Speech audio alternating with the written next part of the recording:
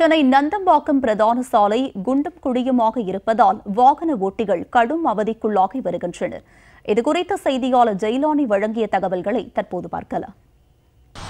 சென்னை நந்தம்பாக்கம் பிரதான சாலைகள் குண்டும் குழியுமாக காட்சியளிப்பதால் வாகன ஓட்டிகள் கடும் சிரமமடைந்து வருகிறார்கள். குறிப்பாக நந்தம்பாக்கம் பிரதான சாலை வழியாக மணப்பாக்கம் கொலப்பாக்கம் போரூர் உள்ளிட்ட பகுதிகளுக்கு செல்லக்கூடிய வாகன ஓட்டிகள் இந்த சாலைகளை அதிகமாக பயன்படுத்தி வருகிறார்கள்.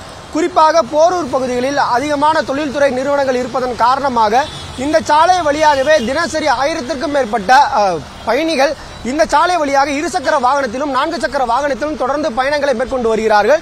இந்த நிலையில் கடந்த மூன்று மாதங்களுக்கு முன்பாக தோண்டப்பட்ட அந்த பள்ளங்கள் என்பது முறையாக மூடாத காரணத்தினால் தற்போது அந்த சாலைகள் முழுவதுமாகவே குண்டும் குழியுமாக காட்சியளிக்கிறது. இதனால் வாகன ஓட்டிகள் கடும் இன்னல்களை சந்தித்து வருவதாக குற்றச்சாட்டுகளை முன்வைத்து வருகிறார்கள்.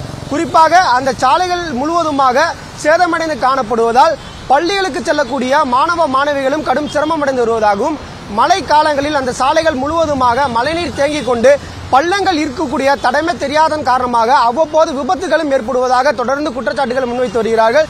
இது தொடர்பாக ஏற்கனவே பலமுறை அதிகாரிகளிடமும் தெரிவித்தும் கூட எந்த ஒரு நடவடிக்கையும் எடுக்கவில்லை. அதிகாரிகள் மெத்தனமாக செயல்படுவதன் காரணமாகவே தற்போது இந்த சாலைகள் முழுவதுமாக சேதமடைந்திருக்கிறது. உடனடியாக இந்த சாலைகளை சீர் செய்வதற்கான நடவடிக்கைகளை எடுக்க வேண்டும். ஏனென்றால் போரூர் செல்வதற்கு பிரதான சாலையாகவும் அதே போன்று போரூரில் இருந்து கிண்டி வருவதற்கான பாதையாகவும் இந்த சாலைகள் இருக்கிறது. இந்த நிலையில் இந்த சாலை முழுவதுமாக இரண்டு கிலோமீட்டர் அளவிற்காக சேதமடைந்து காணப்படுவதால் வாகன ஓட்டிகளுக்கு கடும் சிரமங்களை ஏற்படுத்தி வருகிறது. எனவே அதனை முறைப்படுத்துவதற்கான நடவடிக்கைகளை அதிகாரிகள் எடுக்க வேண்டும் என்பதே அனைத்து மக்களின் கோரிக்கையாக உள்ளது ஜெயா பிளஸ் செய்திகளுக்காக ஒளிப்பதிவாளர் அஜித்துடன் செய்தியாளர் முகமது ஜெயிலானி.